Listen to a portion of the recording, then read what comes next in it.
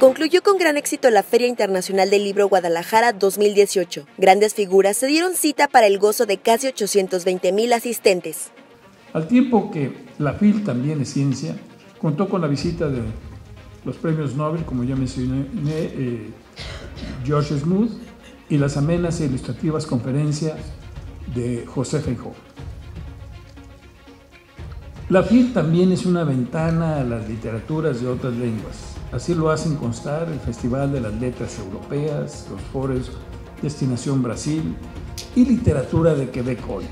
Por otra parte, el programa académico convocó a 13.500 personas que estuvieron asistiendo a los diversos eventos y foros de este programa y tuvo más de 50 actividades y la presencia de 450 pensadores, intelectuales, académicos, politólogos, que nos acompañaron.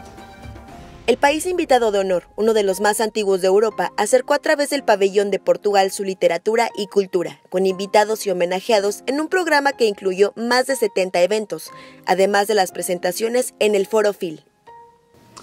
Bueno, no me resta más que agradecer a las autoridades eh, de Portugal por su compromiso y destacado papel que como invitado de honor han tenido ante esta feria. Muchas gracias nuevamente, Manuela.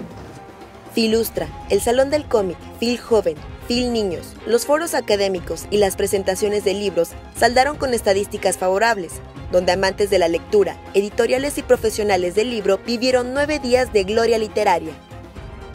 El vasto programa de la feria fue cubierto por más de 3.128 periodistas acreditados, sin contar a los representantes de prensa de las editoriales y otras instituciones.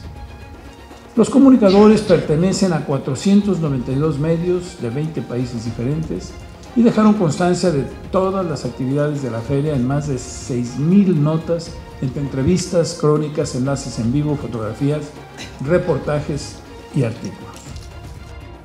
Notimex.